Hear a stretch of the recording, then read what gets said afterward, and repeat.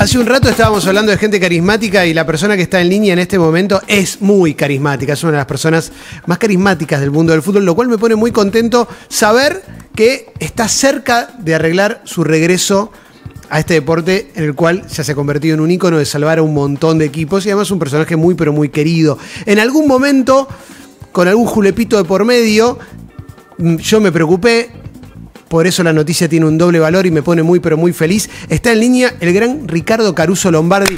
Hola Ricardo, acá Clemente con Juan y con Emilce, ¿cómo estás? ¿Cómo andas Clemente? Un gusto saludarte a vos y a toda la audiencia y a los muchachos de la mesa. Bueno, che, leí, Ricardo, leí que, que hay chances de que, de que vuelvas a dirigir y me puso muy contento. ¿No está cerrado todavía eso? Mira, estoy volviendo, ahora estamos acá en Montevideo todavía, estamos saliendo a Montevideo y yendo para Buenos Aires. Eh, así que vamos a ver, eh, mañana que contestarle, la propuesta está, es, es muy lindo, es muy lindo el lugar, es, es muy, es muy tranquilo, Uruguay está muy, muy, muy tranqui, ¿viste? O sea, Sí. no hay una locura bárbara, estuvimos, también estuve un poco en, en Solana, ¿viste? La verdad que en Solana se pasa bárbaro, en Punta del Este estaba todo muy tranquilo. O sea, un poquito en cada lugar, pero Sí. bueno, me vino bien para conversar con la gente de Miramar Misiones y ellos quieren que esté, aunque sea de, si no puedo el técnico, del manager. Yo veo, la verdad que el manager no me desagrada, Bien. no, ellos quieren que vaya una vez por semana o dos por semana y la realidad es que para agarrar agarro de técnico, de manager no sé, ¿viste? Y- No, está- la propuesta está, pero yo le dije, mira, acá el único inconveniente es que también que le quedé que le iba a contestar mañana porque tengo que hablar con el médico a la noche, tengo que hablar con el otro médico a la mañana, Claro, que claro. son de diferentes, diferentes especialidades, ¿no? Por el tema de, del líquido en la cabeza, ¿viste? Que me deja nublada la vista, Claro, claro. Eh, es eh, un impedimento, ¿viste? O sea, si, dependo mucho de eso. Si me dan lo que es los médicos, puede ser que, que cerremos todo. Si no, bueno, me quedaré en Buenos Aires y seguiré con los programas de televisión, Bien. como, bueno, como me viste ahí en, en TEN, o en Tres al Frente, o con Sí. Martín a la mañana, ando, ando por todos lados con, con los programas. Totalmente. Ahora soy, ahora soy streamer. eh. Está bien, era, era la que te faltaba, pero pará, dijiste muchas veces que es muy tranquilo Uruguay y yo, vos no te tengo como una persona recontra tra- tranquila. Yo, la sensación que tengo, Ricardo, es que vos necesitas un poquito de movimiento. No sé ahora en este, en este momento de la vida, pero ¿te gusta que sea tranquilo Uruguay o eso te juega quizás un poquito más en contra? ¿Necesitas un poquito más de ritmo? No, no, por la tranquilidad tenés una semana, por el día del partido es muy difícil la tranquilidad en un partido. En un partido hasta que no te el referente tocó el pito y vos no termines de ganar, no estás nunca tranquilo y más un equipo que recién recién entró en la primera, ¿viste? O sea, tiene tres puntos, de seis partidos tiene tres puntos nada más, empató tres y perdió tres. Es una misión para vos esta, ¿eh? Claro. Sí, sí, sí, sí, tan- me falta la música. Tan, tan, tan, tan, tan. y pará, ¿y, y lo, lo conoces al equipo? O sea, ya de nombre seguramente, pero eh, te- cuando te llega la propuesta, ¿estabas al tanto más o menos de la realidad o vos estabas streameando? No, no, fui a la cancha el domingo. El, el, el que maneja el club, el presidente, me invitó el viernes a ver Nacional y Peñarol. No, no podía llegar porque estábamos en Solanas y estábamos medio lejos y no nos daba el día, ¿viste? Porque jugaba a las 4 de la tarde. Sí. Pero el domingo, el domingo sí fui a verlo, jugó contra Cerro, eh, Miramar. Y, bueno, tiene su falencia, ¿no? También el equipo, eh, pero juegan bien, juegan bien, juegan bien. Es un poquito de impronta también que le pueda meter, ¿viste? Vos sabés que el técnico argentino tiene esa impronta para meterle y, Sí. y bueno, es señal de que, que los jugadores por ahí tienen cosas buenas que he visto de varios chicos, a otros creo que les faltan algunas cosas, pero o sea, puede ser solucionarlo. No es un equipo que, que vos digas, bueno, no tiene buen equipo, para, más allá del que ascendió ahora, me parece a mí que por ahí metiéndole algunas cositas entre medio, y aparte se puede eh, sumar cuatro jugadores en junio, ¿viste? Cuando termina primera rueda. Bien. Así que tenés, tenés, tenés chance, tenés chance. Bueno, hay que jugar después, ¿no? como todo, pero bueno, por suerte, eh, mira, me han llamado de Bolivia, de Paraguay, de Chile, he tenido, pero me parece que Uruguay era más potable por la cercanía también del país y porque, bueno, yo en Buenos Aires, en Argentina no puedo dirigir, no, no me dejan dirigir, o sea que yo soy vedado, Sí. Yo- a, a mí me tienen con la con la, encima que hacen todo mal, porque son unas máquinas de hacer todo mal, encima no te dejan trabajar. O sea, las dos cosas, y cuando lo decís, eh, es como que el mal de la película sos vos. Bueno, mejor, así no te haces mala sangre acá. Sí, no, ayer me mostraron un penal que dio un partido de la Tremendo. Sí, tremendo. Todo pie. Insólito. Insólito. Bueno, yo. No te calientes. después de ver todo eso, el otro día, eh, el partido de Bron de Madrid, un, jugador de Madrid le pega una patada a un jugador de Madrid y el penal para Madrid. No, eso es increíble, eso es increíble, increíble. Yo te imagino a vos, si dirigís acá todos los fines de semana vas a estar con el no dirijo más de vuelta y no, no, no te va a hacer bien, no te va a hacer bien. Me, me, van a cagar más que a Tevez. y encima te van a manguerear, porque a vos te manguerearon a los jugadores, a los hinchas también, así que no, no, no, no, no, no te conviene. Olvídate eso. Ricardo, eh, Siempre escuchamos cuando un técnico de repente asume en algún equipo, es muy común escuchar a los periodistas deportivos que dicen, bueno, ahora, ahora sí, eh, este equipo está jugando a lo que quiere el técnico. ¿Cuánto hay de, cierto en eso y cuánto decir, le salió de pedo o es lo que puede jugar porque es los jugadores que tiene? Depende del violín que tengas. O sea, hay violines que son de seis cuerdas, otros son de cinco cuerdas y se tocan como les conviene. Sí. Toda sanata es eso. O sea, vos, tu equipo cuando gana, dice qué bien lo paró. Viste cómo hizo los cambios, qué bien puso este ataque, puso punta por punta. Mirá qué bien, puso un central y sacó un delantero cuando ganaste. Si ese mismo partido lo perdés, el, el, bueno, en vez de terminar de liquidar el partido, no tendría que haber puesto un central por un punta, tendría que haber puesto dos puntas más para buscar el otro gol y no refugiarse en el. O sea, todo depende de cómo te salga el partido, es según el violín que usan, ¿entendés? Para hablar. Eh, es así, ¿no?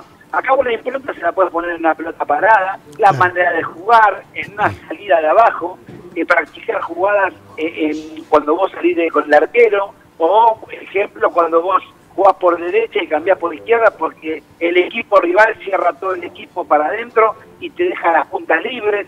Eso sí se trabaja en los días previos al partido, pero no es todos los partidos igual, porque todos los equipos no juegan iguales, ¿entendés? Entonces, pues yo te digo, el periodismo según cómo salís y según cómo le caigas como técnico, si vos le resultas simpático y te quieren dar una mano, y tíranlo así todo. Cuando no te quieren y ya quieren que lo, lo peles, ya te pegan con un fierro. ¿eh? Bueno, Clemente, no sabemos cómo se ríe Clemente cuando le digo. yo te conozco, ya son muchas notas. Son muchos años. ¿sí? eh, Ricardo, yo te quiero preguntar, vamos a relacionarlo con este proyecto que quizás se, se, venga, es potencial, ya sé, pero hablamos de que sos una persona muy carismática. Cuando te encontrás con un plantel por primera vez, ¿cuál es tu manera de encarar a esos jugadores? ¿Es más desde un plano más amistoso, de mostrarte como más cordial? ¿A veces necesitas un primer encuentro siendo como más formal? ¿Cómo es en tu caso?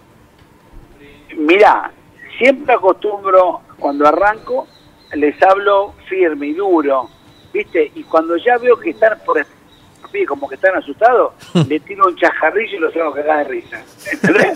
O sea, le busco, le busco la vuelta porque yo les hablo y empiezo a mirar quién me mira a los ojos, quién presta atención, quién está bordeando el tirando eh, pedacito de barro al compañero delante, quién esconde la atrás de otro jugador para que uno le mire la cara. O sea, le voy, le, voy sacando la ficha a casi todos como son, ¿entendés? Yo ahí no, es muy difícil que... Cuando lo empiezo a hacer fútbol es otra cosa, pero de lo que vos me preguntaste, yo trato de ser ameno, trato de ser compañero de ellos, son los que te defienden en la cancha. Y después, una vez que armás el equipo, le doy más bola a los que no juegan que a los que juegan. Porque los que no juegan son los que te tiran el carro para atrás, después te quieren hacer porque no ponen nunca. Entonces, los más amigotes tienen que ser los que no juegan. Los que juegan están todos contentos, aunque vos no te quieran, se que están contentos porque vos los ponés. Es muy difícil el fútbol, el que no juega siempre te tiene entre, entre y ceja, los que juegan siempre son más simpáticos. Después tenés jugadores que son más largos, otros son más cortos, tenés todo, es un por eso son 30 jugadores y tenés que amoldarte a los 30 y después buscar el que te cuesta más tratar de insertarlo a lo que vos querés, ¿no? Bien, bien, me gusta, me gusta que, reveles tus secretos, Ricardo. Te quiero traer de vuelta a lo de a, Argentina.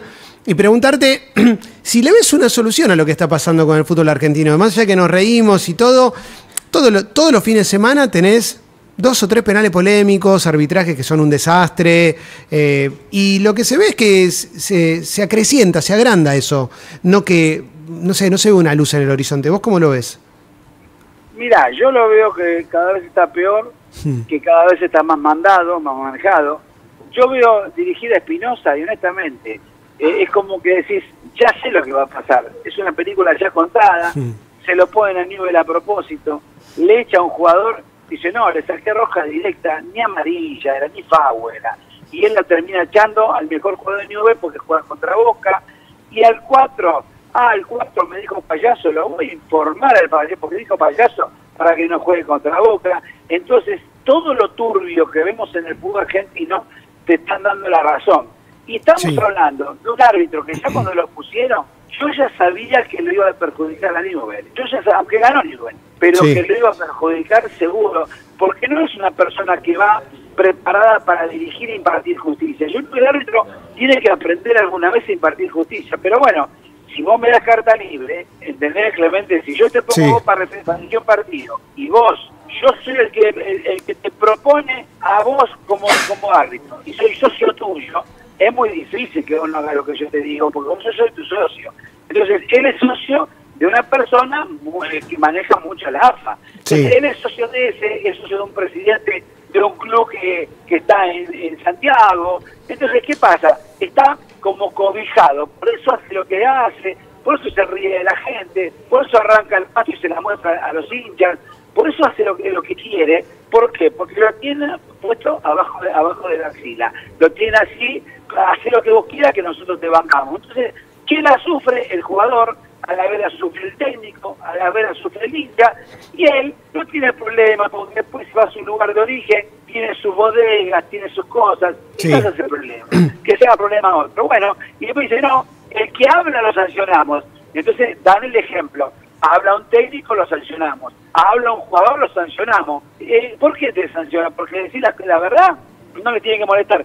Eso es por culpa del 1 y del 2 del AFA, que son los que proponen todo esto, todo trampa. El VAR, te voy a decir un ejemplo del Sí, VAR, dale. para que para que sepas. El VAR, viste que el otro día jugó Barracas con Huracán. Sí. Huracán hace un gol lícito y lo anulan. ¿Está bien? Sí. Lo anulan. Después hay un penal y tampoco lo dan. ¿Sabes eso? Porque el señor Beligoy está siempre en el bar, cada vez que juega Barracas. Sí. ¿Entendés? Entonces, ¿qué hizo Beligoy?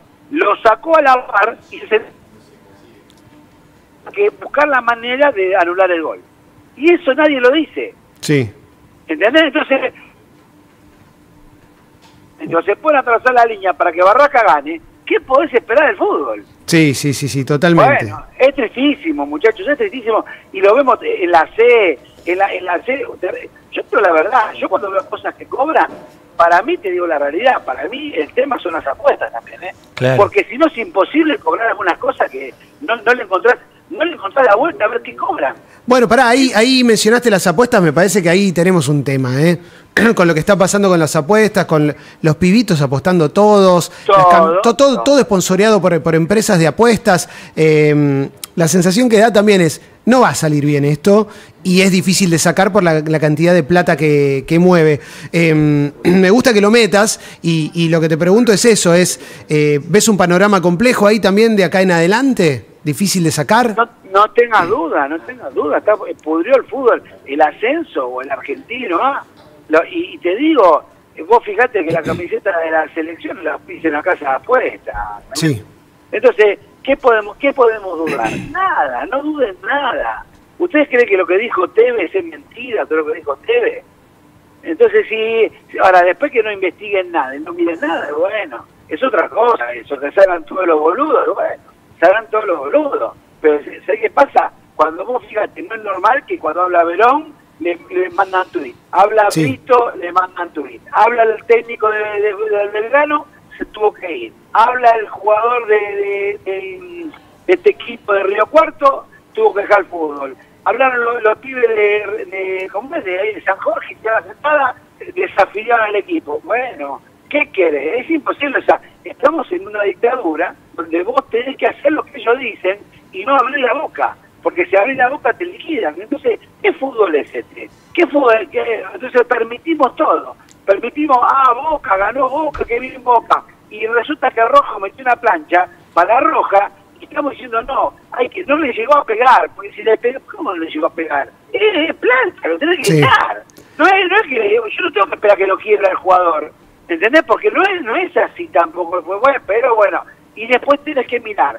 Se clasifican cuatro cada zona. Ahora están haciendo las cositas, los deberes, para que clasifiquen los equipos que quieren ellos. ¿Entendés? Vos no tenés que tener miedo a Barraca. Vos tenés que tener miedo que lo perjudiquen a Vélez, a Talleres, Totalmente. a River, para que, para que clasifique Barraca. Lo mismo van a hacer con Boca. Entonces van buscando a ver cómo lo pueden a defensa, cómo lo pueden cagar, cómo pueden cagar al otro, si a Racing hay que meterlo, cómo lo bajamos a Newell, ¿entendés? Porque Newell se metió en el lío y si Newell baja sube Racing, todo así es, muchachos, todo así es. Entonces, lo saben todos. Pero los periodistas dicen, Ricardo, no puedo hablar porque si no me quedo sin laburo. Los técnicos me dicen, Ricardo, no puedo hablar porque si no me quedo sin laburo. Los jugadores me dicen lo mismo. Entonces, ¿qué tenemos que hacer? Dejar que los árbitros y la gente hagan lo que quieran.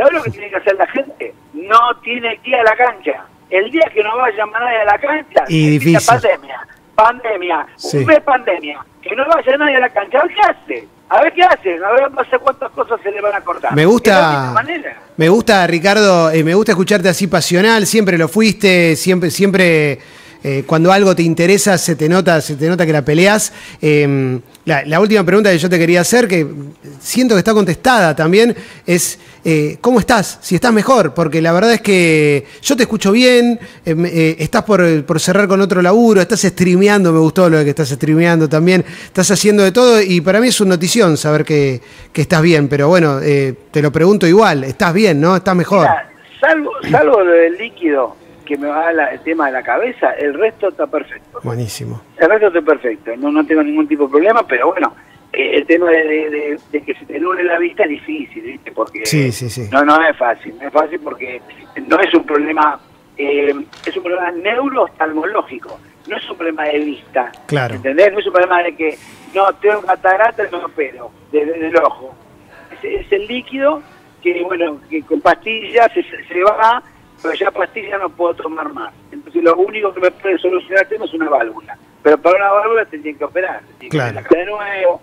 Es un lindo lío también, ¿me entendés? No es fácil. Entonces, bueno, eh, eso, eso es lo complicado de todo esto. Pero bueno, lo vamos sobrellevando a ver cómo podemos y, y después, bueno, ir opinando lo que yo veo día a día, que la verdad me molesta mucho que el equipo campeón del mundo tengamos toda este, esta mugre, porque no hace falta, no hace falta. Yo te digo la verdad, si hacen una encuesta y, y el presidente de AFA tiene el 75% en contra, es porque hizo todo mal, siendo Sí. campeón del mundo. ¿Con qué poquito, con qué poquito puede estar de primera? Con un campeonato de 22 equipos, se seleccionaron 20 jugadores, se rompieron ligamentos por jugar todos los días. Bueno, todas esas cosas, y después suben a tal equipo, para los descensos cuando son amigos de él. No se puede hacer un campeonato todos así, es un desastre, es un desastre, pero bueno, qué sé yo, ahorita acá, acá se permite todo, y si nadie pone la vara dura, seguramente nunca lo van a solucionar. Cuando Ricardo mencionaba un montón de los equipos que en estos momentos están en primera división, pensaba, ¿a este lo dirigió?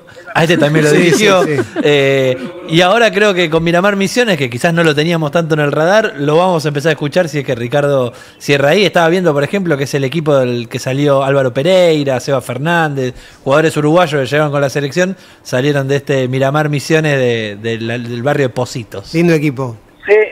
Sí, me dijeron, me dijeron todo eso, pero está muy bien. eh, un club que está creciendo, un club que están haciendo, ahora están haciendo la cancha nueva en un predio donde tienen tres canchas, están haciendo de césped sintético y una de, de ¿cómo es? De césped. Me gusta más la idea de jugar en césped que jugar en sintético. Sintético, aparte de ser peligroso, para una primera división no sirve porque la pelota pica mucho, no, no es fútbol eso. Yo creo que el fútbol se juega en el pasto y la realidad que lo, lo primero que le dije a los dirigentes tenemos que solucionar el tema de la cancha de compacto y practicar en la cancha que vamos a jugar de local porque la mitad de los partidos lo juega de local en, en- determinada cancha y hasta que armen todo está jugando apretado. El otro Sí. día jugaron en Sporting, viste, en el defensor Sporting, pero si van a jugar ahí le dije, bueno, entonces preparar esa cancha para, para, ir, para ir a jugar una práctica los miércoles, porque yo necesito la cancha, esa es la que vas a jugar de, de- de local y donde tenés que buscar hacer una diferencia, ¿no? Ricardo, ojalá que cierres con ese laburo y que, que te volvamos a ver dirigiendo. Te mando un abrazo enorme y gracias por atendernos. No, no, gracias a vos, Clemente, un placer como siempre. A vos, a toda tu gente que está en la mesa ahí, le mando un beso grande y, bueno, y ojalá que, que podamos, no vamos a arreglar nada, pero por lo menos que nos escuchen de vez en cuando, a ver si alguno tiene un poquito de vergüenza y puede defender al fútbol argentino como corresponde, ¿no? Ahí va, abrazo grande. Ricardo Caruso Lombardi pasó por aquí, por todo pasa.